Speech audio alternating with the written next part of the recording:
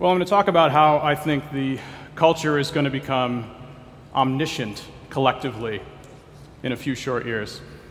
Mining and mapping omniscience. But before I get to that light topic, a couple of definitions uh, are in order.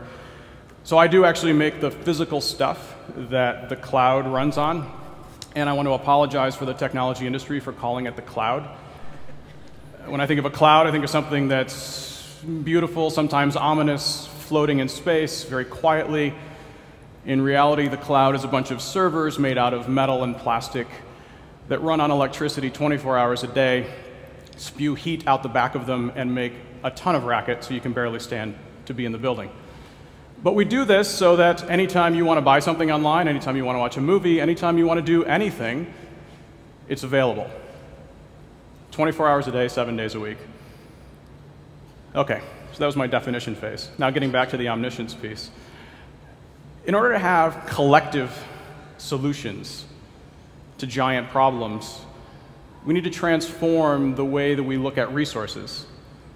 And there's a couple of elements to resource mining and mapping that are essential to actually making changes that happen in the real world.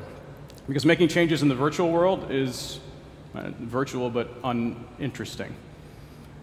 Making changes in the real world actually changes the arc of history, and that's much more interesting.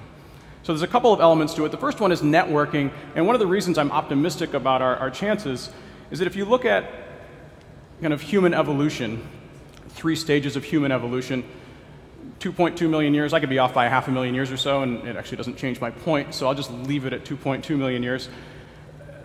A fair amount of time, and we think of time that way very linear. We think of it sitting on a line, it starts here, and it goes always to the right for those of us in the West.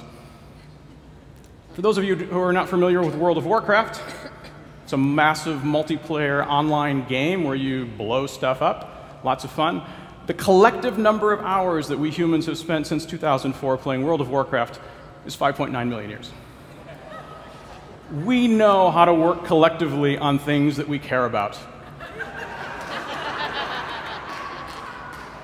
And clearly we care about blowing stuff up. The other part of my job is solving problems for big companies who are trying to figure out how to store all of the data that you shove up into the cloud. And there's a few things that I've noticed about this data that it, it makes it quickly become a resource. But first of all, it is persistent. It never goes away. If you think it's going to go away, you're wrong. It's stored in three different places. It's locked up different ways. It can be replicated overnight. It can be restored if a data center blows up, if there's an earthquake. When you upload that picture before you hit send, you should be sure because it's never going to go away. Now, that's the positive part of that is that before long, every book ever written, every picture ever painted, every song ever composed, every poem ever written, ever, it will all be in a data center someplace, on a hard drive, in a server, hopefully one that I made. The data is accessible, but depends on the culture a little bit. So you, uh, this is not in all caps yet because depending on where you live in the world and what your economic status is, your accessibility varies, though it is quickly becoming a global situation where for the first time in, uh, in history, one of the one of the most oppressive and closed off dictatorships in the, in the world had to admit that they made a mistake because a lot of their people have cell phones now.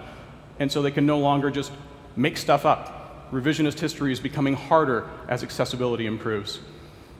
The data is framed, and what I mean by that is there's a portal. I, I, was troubled last spring when the whole Arab Spring thing was going on, and there were questions about how social media helped the Arab Spring move forward. Let, us just be clear. Let's, that's like giving credit to Paul Revere's horse for the message that Paul Revere was sell, sending, right? It's just a portal. It's just a way to communicate a message, but the passion behind it has to be human. And what I'm seeing is the frame is changing rapidly. The tools that enable us to mine data are improving every day. The ability for us to access more data in more ways is, is it's just evolution to revolution. Now, is it democratic? Not so much. Uh, a lot of the data that you upload to free sites is no longer yours once you upload it. It belongs to the company that is sponsoring the free site. That's why you get those very targeted and sometimes creepy ads on the right-hand side of your screen that know how old you are and whether your hairline's receding or not and you know, what you've been looking at. All of that to say, this data is out there, and the amount of data that is added to the collection every day exceeds all of the data that was in the collection about 10 years ago. And so when you think about the scale, one thing you can do is just run for cover and say, oh my gosh, how can I ever deal with any of this? But another thing to think about is what if there was a way for me to become a miner and a mapper? What if there were tools available so that I could actually extract this data? So imagine sitting down to solve a problem, a real problem in the real world. And as you do that, and as your team of people work together, you find that you have access to every person who has ever tried to solve that problem in the past, every book written about the topic, every song composed in protest of the topic or in support of the topic, every idea, pass or fail, and it all rolls up in a way that you can understand it and you can see it in context. Then imagine trying to solve the problem. I have this idea that I call interlutions. So we have these entertaining platforms that we, that we like. We like games. And what I'm seeing is a trend of taking that entertainment platform, taking that idea of, hey, this is fun to work on, but being able to solve any kind of problem, whether it's political, social, or economic, and whether it's a revolution, an evolution, or a solution, and moving that forward back into the real world. So, what this requires, I think, is letting go of my idea, my invention, my business plan, my get rich quick scheme, and embracing our idea, our solution, our collective ability to alter history because we collectively can approach omniscience, which is scary if it's done wrong and amazing if it's done right. Thank you.